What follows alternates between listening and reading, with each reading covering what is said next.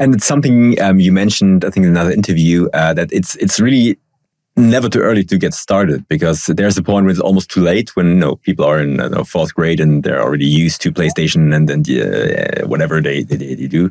Um, so it's really good to start early that they get used to it and they get, get to enjoy it from an early age, right? Yeah, and you know, I have to say it's it's interesting because when I started hiking with Mason, I read an article on this parent website in the US that's like it's babycenter.com and it's still hmm. up. But I'm just like, oh my God, I can't believe this article is still up. But it's like absolutely under no circumstances do you hike with a child before six weeks of age. okay. Like, what? What? Like too much jostling. You can give them shaken baby syndrome. okay. yeah. It's so false. Like the very best thing you can do as a new parent literally is put the baby up against your skin and go outside and start walking. Hmm. Like that's what you should be doing.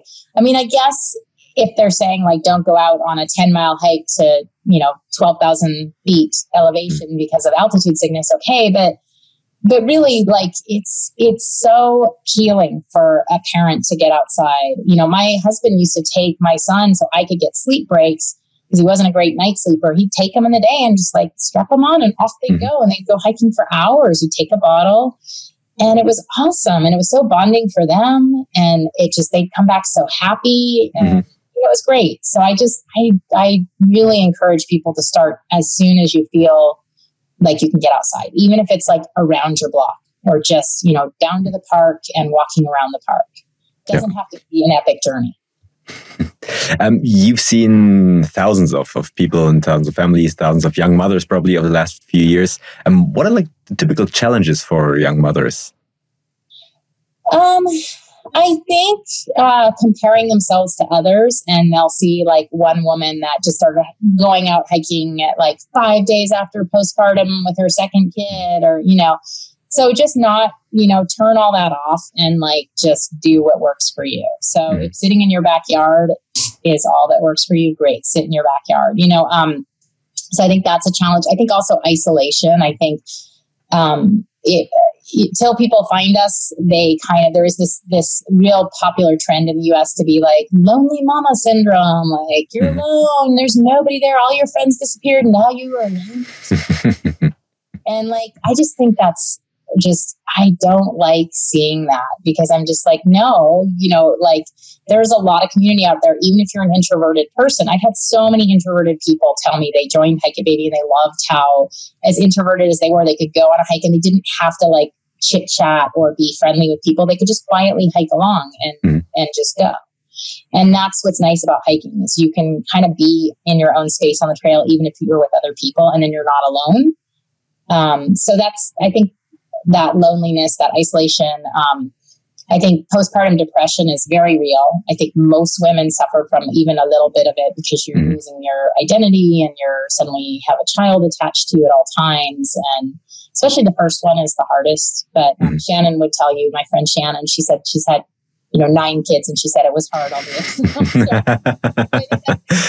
I mean, I think it, different people have different postpartum experiences. Yeah. Um, yeah, I mean, I think I think also it gives you a lot of confidence to get out and take your child out into nature. It's, it's very confidence building. So I mm. really encourage women to do it, and it's also can be very bonding. Like my husband and I can have the worst fight in the world, and we go out hiking, and we're all getting along.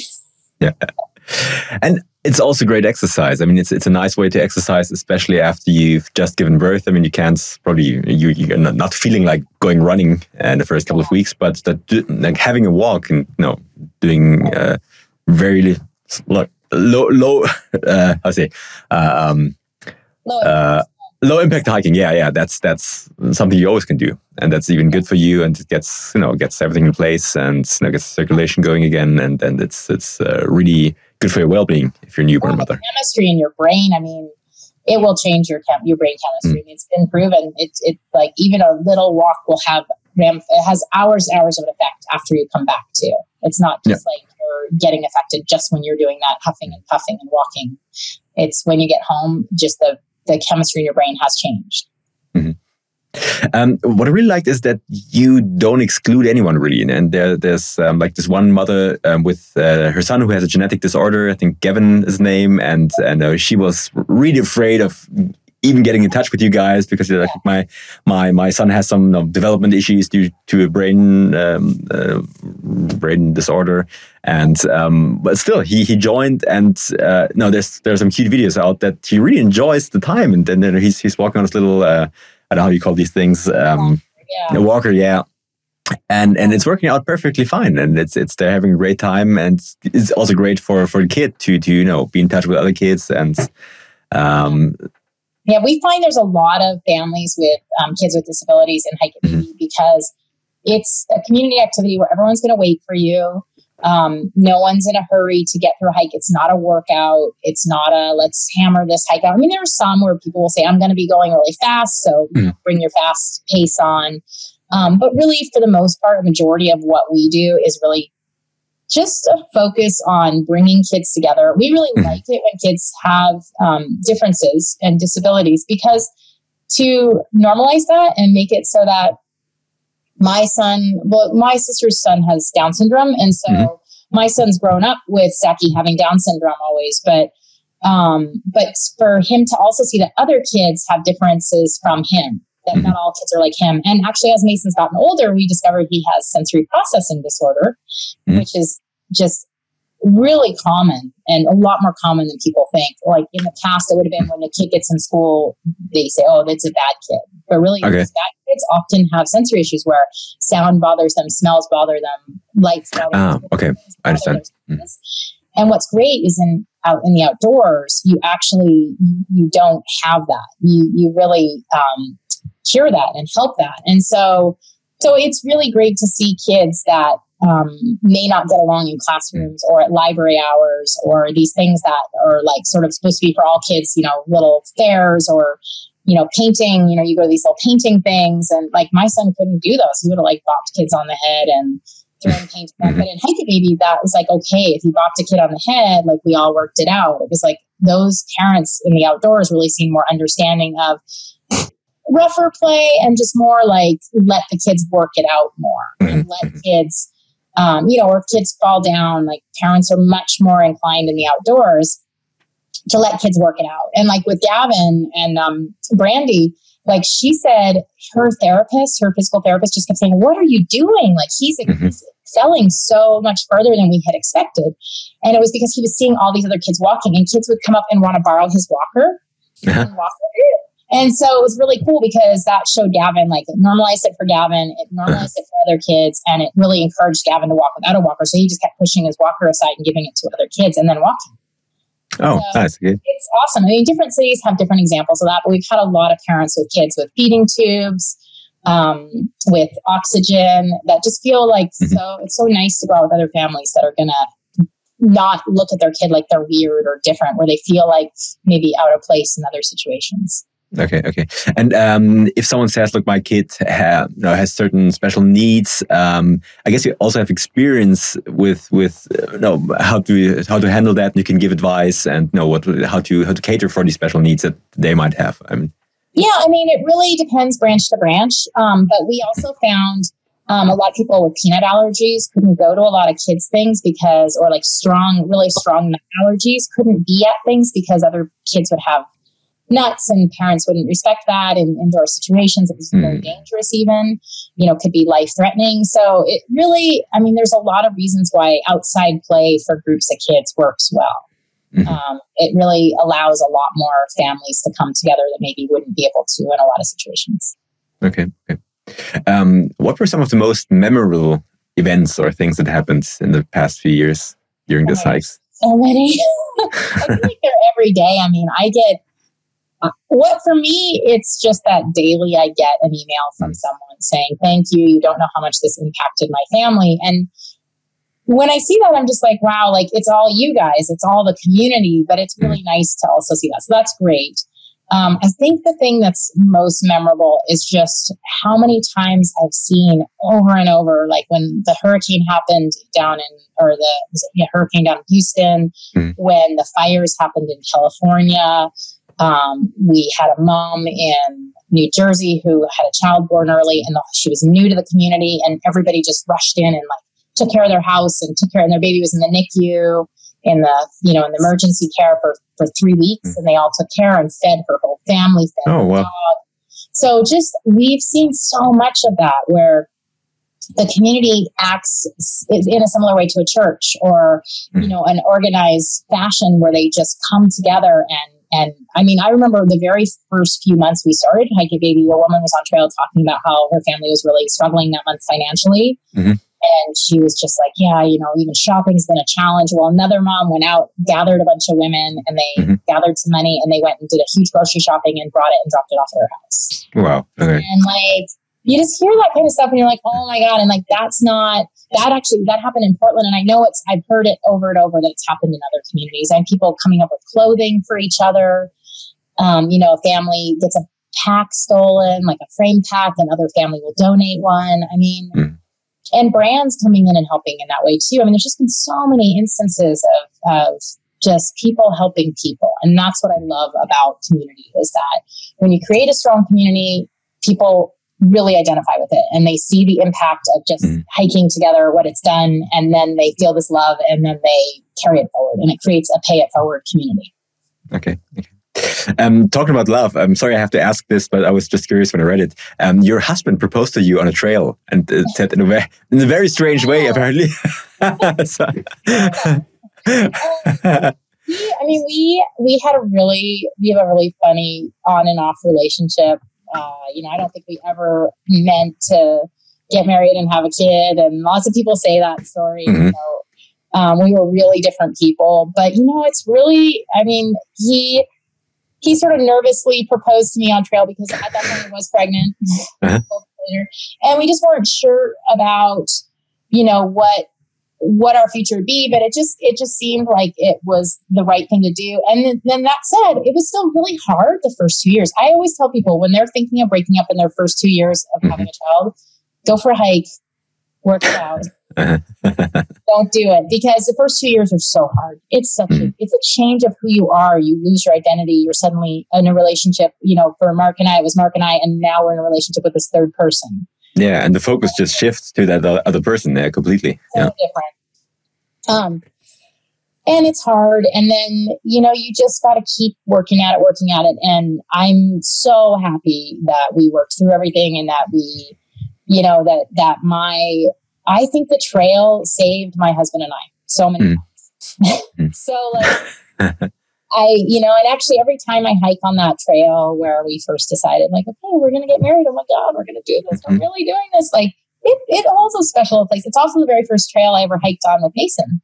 Mm-hmm. by myself and the very first hike it baby hike we ever did. I mean, it's just sort of this common, it's a very common town trail in the town we lived in. It was nothing, there wasn't an epic view to it. There wasn't like, it was just a common trail that we hiked every day that was very mm-hmm. familiar. And I love that because that's also the beginning of Hike It Baby. It was about you know, the common. I wasn't saying to people, go find an epic waterfall hike with your babies. I was saying, go find the trails in your town that you can all do together mm-hmm. and that you can create community and create memories on. Okay. So, yeah. yeah, thanks for sharing. So, um, how often do do people typically hike when they join an organization? Is it is it uh, every week? Is it a few times per week? Is it totally different? I mean, uh-huh. some cities, like in Portland, at one point when we were really a booming organization in Portland. Uh, we had 12 a day sometimes. Wow. Okay. Um, but right now, you know, maybe for a week, you know, it just mm. depends. And like it goes through waves too, or we have a really active ambassador who fires up a whole bunch of people and gets them all excited. And then all these people start hiking. Um, so it depends. We have probably around, we at one point did have about 2,500 hikes a month. Lately, we've been around 2,000. It's also mm. winter, which slows us down. Um, also, a lot of hike groups started after us because they mm-hmm. saw the success of our group, and that probably pulled away from some of ours. But again, like I said, we're not trying to be the biggest, most mm-hmm. badass. We're just trying to like encourage and inspire wherever we go. So if it means another group takes off and has a bigger presence in a community, that's totally that's awesome, and it's all just getting people outside. So um, we just encourage people like to use our calendar and like post because it actually helps us to be able to talk to parks in different cities and say mm-hmm. how many hikes are happening in this park at this time. Um, so we can we're a record keeper of what's happening across the country for hiking for families. So oh, absolutely. literally in some parks like in Portland, um, we noticed after we started doing a ton of hikes there that they and and we I even talked to a park ranger about how I wish there was more nursing benches at the beginning of the park mm-hmm. trailhead because I could only get so far on the trail. Mm-hmm. And a lot of the benches were way further in. And then all of a sudden a bench appeared. Okay. Right at the beginning. And I'm like, that's awesome. So I mean, I don't know for sure that we had that impact, but they knew how many hikes we were doing there and how many new moms were coming. And okay. to have a nursing bench when you're starting is so nice. So you're like, because you're not really like able to hike and nurse and stuff. That comes with time. Okay. So yeah. So it's a lot, cool. lot lots happening out there. so if I want to get started, if I want to get started, um, what do I do? How do I get in touch with you and um, how do I find my my group, my my my chapter, or how, how do you call them? Um, we call them branches. Branches, okay, yeah. Branches of a tree. Mm-hmm. Um, and we got that early on because it's just, it really is a strong, you need that strong root system and mm-hmm. then those branches to branch off and like really blossom. Um, and so you go on hikeitbaby.com. You can just post a hike. You don't even need to have a branch in your city to post a hike. It will appear on a calendar and people can find it. And then you just share that link on your Facebook. Um, you share it with people around you. Uh, you can become an ambassador and start a branch in your city, or you can um, uh, you can also just join a branch that exists, or you can just post hikes and people will come. Um, mm. It's you know not every area. Like I live in southern Utah, which is really remote. I mean, there's a mm. lot of little cities, and so we sort of encompass the whole area, and it's probably like ten cities around little mm. cities, and you know, and, and, it's like maybe an hour drive to some things, maybe an hour and a half. I mean, people still do it. They'll drive like just a long distance mm. to find a community to hike with. Um, the other thing for this area, for example, people will come from out of the city or out of the country, out of the state, like all over, and they'll hike with us because they know about our calendar. So mm-hmm. you can use it and travel and go to other cities. Like if you came to America and you were traveling around, you could just go from city to city and find hikes to do through the okay. calendar. Okay. Okay. Um, so you've grown into a really big organization. So you have uh, like how many people are working for you currently uh, in terms of the the management of the organization? Yeah, like 13 employees, but then there's mm-hmm. like probably over there's over 600 ambassadors mm-hmm. and those are people that are running their cities and then there's people that work about 100 people that work on teams that help us manage different aspects. So, like training or our trail guide or um, helping with relations with different cities, with grants, with grant writing. So, there's all these different teams. And so, what's cool about it too is that people that join can also just join and decide to help us on a national level and learn all kinds of skills. So, learning blogging, learning about newsletters, learning about photography, um, you know, how to inspire, you know, cities, work with cities, work with government. We have one woman who actually got elected to a government position mm-hmm. after she was part of Hike for a couple years because she was everybody knew her in the park system because she was always the Hike lady in the park. Yeah, yeah, yeah. And so she actually got uh, is now on the park commission, and she's just like, I never in a million years would have thought of myself becoming like a politician and like getting elected to this. And mm. she was so excited, and she's like, she's like, I feel like I'm faking it. I go to these meetings with all these grown-ups and I'm like a politician in the room with them, you know? So it's like, it's really neat to see how um, Hike It Baby can affect people and change their lives and and give them a different insight to maybe even different careers they want to have because they worked with us and volunteered with us. Okay. So um, with the donations that you get, so it's it's ten dollars per year to join. Yeah. Ten a year. Uh, it, it, really helped. We didn't have it, but you know, I have to say people are a lot more accountable and they're a lot more likely to show up and they're a lot more likely to submit hikes. And then it helped us have a base to know how many people were really truly involved with us by doing that. Okay, and and that money money is used to to cover expenses and to to pay for the uh, the people who are uh, full time enjoy uh, full time engaged in the organization and everything. Yeah. yeah, yeah, and it's also used. Um, I mean, we have a, a $30 one that people can pay and then that helps us bring more people and create programming to get more people out onto trail and reach out more to people. Um, we have a $100 lifetime membership that you pay one time and it's all for your whole life.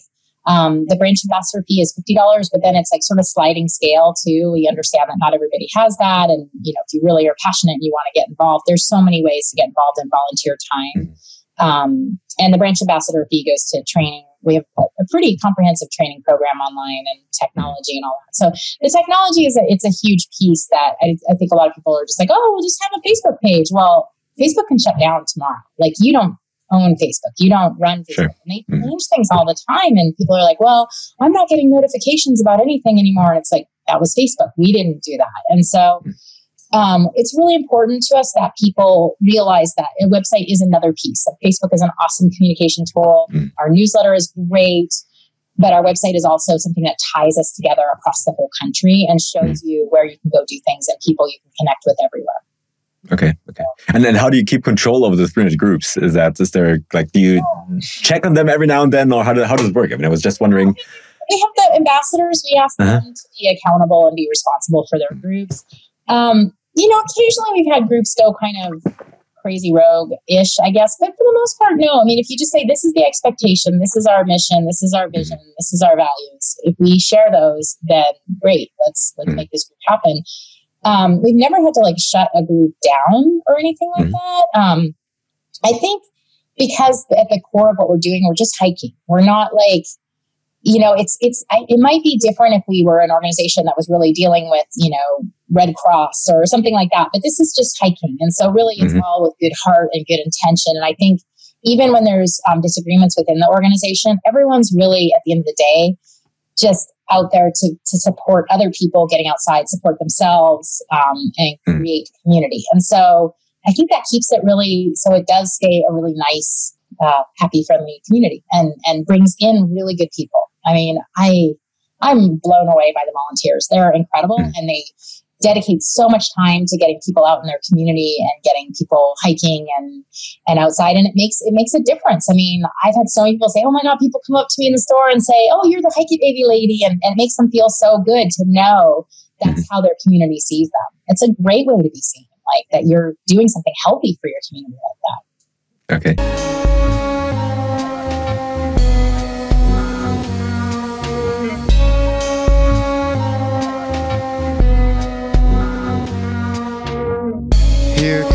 sunshine and burns away clouds like they never were.